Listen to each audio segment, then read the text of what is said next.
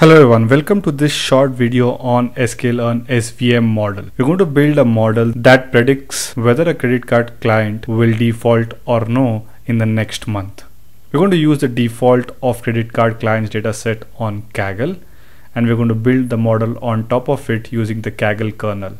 I provided the link to this particular kernel in the description section below and if you want to use a local version of it I provided a GitHub link from which you can access the data and the code. So let's get started. First, we'll begin by importing the libraries. We're going to import pandas as PD and from sklearn SVM, we're going to import SVC. Now this is the classification algorithm. Now we're going to load the data set and we're going to store this data set into the data frame called data. Location will be given by this particular code. You can just copy this and paste it here to get the data into this data variable. So I got my data in data variable. Now I'm going to check what are the columns that are available within this. So if I run this, I basically get all the columns that are available within this and we'll have to predict whether this particular customer is going to default his payment in the next month and we have a binary classification. So once I know about this data, I'm going to check if there are any missing values I'll say data dot is null dot sum and see if there are any missing values. Fortunately there are no missing values. So we're just going to go ahead and divide our data into the y and x.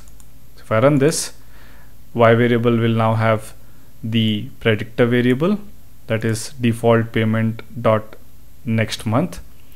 And then the x variable will have all the other variables except for the id and our predictor variable right? So we're going to have these divisions.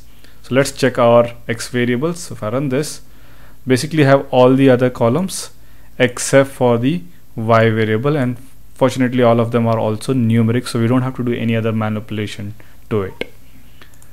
I have roughly around 30,000 rows and 23 columns for us to build this model and we're going to run the SVM model on top of this particular data. So if you want to create a SVC, SVC model, we are going to declare an instance and we're going to say gamma is equal to auto and declare the in instance. Then we're going to say SVM model dot fit and give the x variables and y variable and let it run. So if I run it and I run this particular code, it's going to fit the model for us. Now it's going to take some time to build this model because of the nature of this particular algorithm. You can just wait for some time and let this particular algorithm run till you get the output. So once we get the output, we're going to check the accuracy and see how well it has performed. So now our SVM model has run and there are multiple hyperparameters you can see here, right? Also we have different kernels that, that can be run, but that is for another video. In this particular case, we have fit the model. Now let's check the accuracy of the model. Again, it will take some time. Let it run and then we'll get the accuracy of it.